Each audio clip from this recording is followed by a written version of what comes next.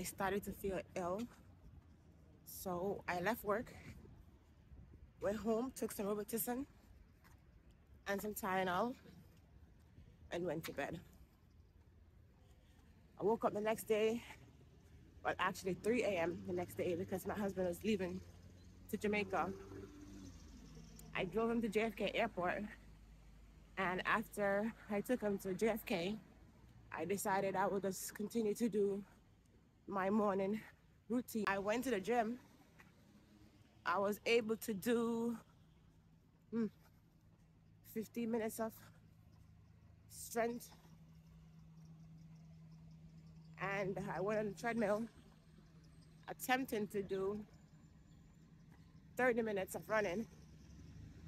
11, min 11 minutes into my run, I felt like I couldn't breathe. And that took me back to when I had pneumonia, couldn't breathe, end up in the hospital for seven days. That was one of the most, that was rough. That was horrible. Being away from my kids, my kids crying all the time. I couldn't breathe, I couldn't walk. And the doctors couldn't find out what was wrong with me. So I wasn't about to take another chance. So I got off that treadmill. I went home. Okay? Went home. That was like 6 a.m. in the morning. I went home, got in bed, slept, got up, felt a little better. Took some more Robitussin. I'm like, okay, I'm getting a cold. All right. I took my daughter to her modeling class in the city by Barbizon. But on the way up, I'm like, I'm not liking how I'm feeling. It's not right. Later that Sunday evening, the fever kicked in.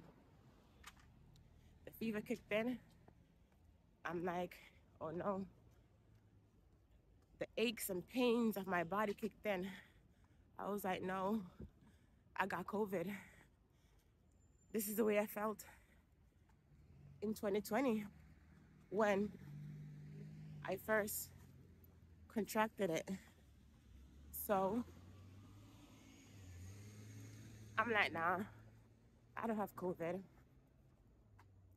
I went to bed Sunday, couldn't sleep, aches and pains, fever, chills, my head hurt. I got up to take my kids to school. My daughter said to me, Mom, I'm not feeling well.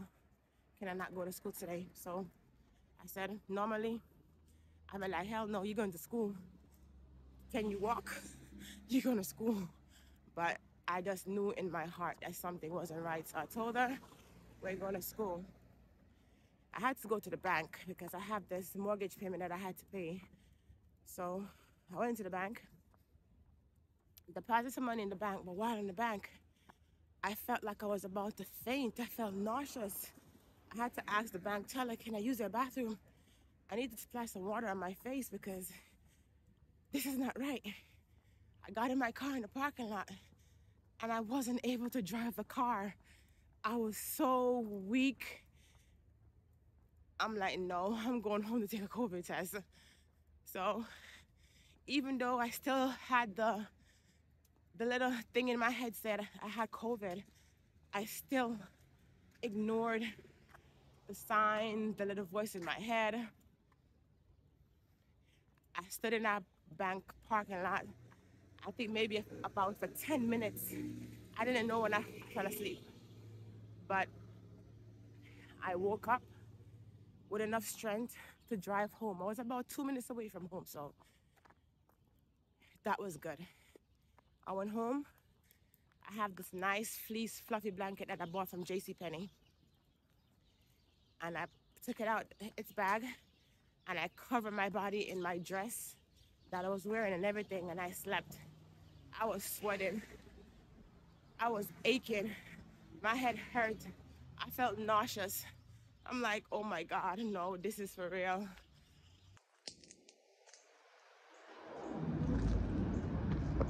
So this is Isabel's test and this is my test. Isabel's mine.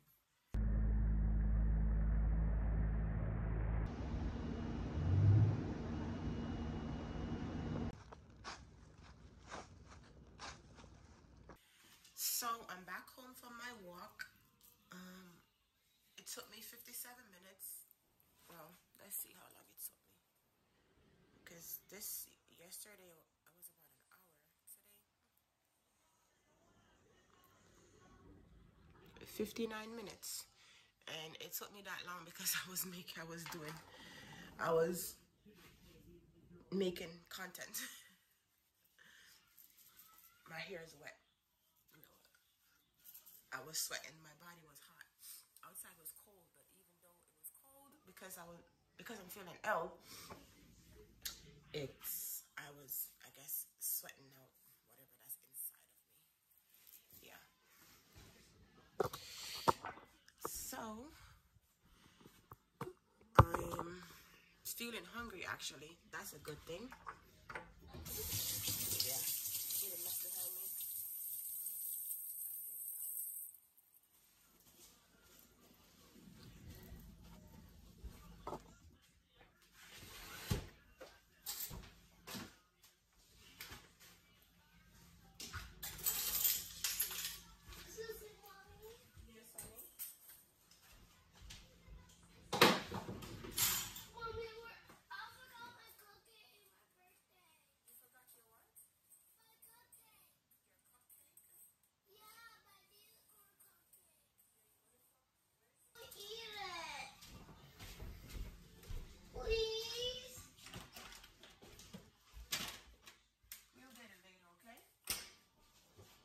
Can you please put back the um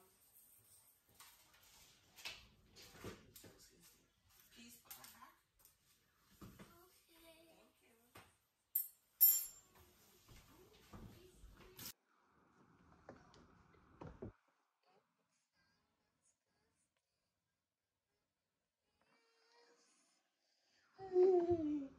Thank you. Like a lemon juice.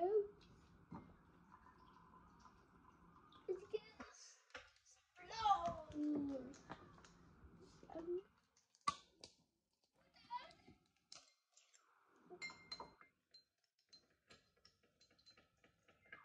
Oops.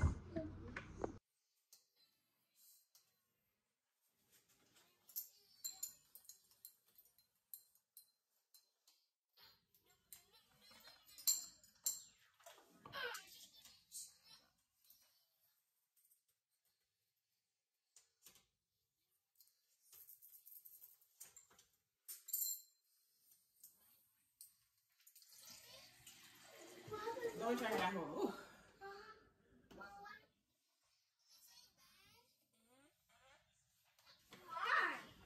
It's it just dies. Honey and lemon juice concoction. I don't know why I'm messing with my hair.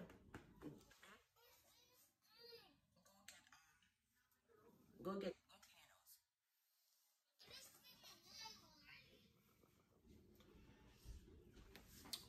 So that was my white rum and honey with lemon juice concoction. Um, some old Jamaican remedy. When you have a cold, you're feeling ill, it I don't know what the honey and the white rum does and the lemon. I can't tell you. I never I never research, I never ask. I just drink it and I know it makes you feel better. So um, that's what I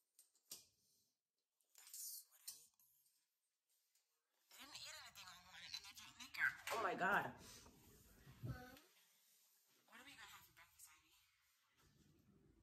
She wants ice cream, y'all.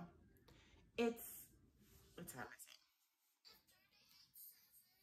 It's 7:13 a.m. in the morning, and she wants ice cream. No, that's too early for ice cream. And why is my so my four-year-old? This was my first smart um smartwatch that I bought. I never got rid of it because I actually Mommy, love it.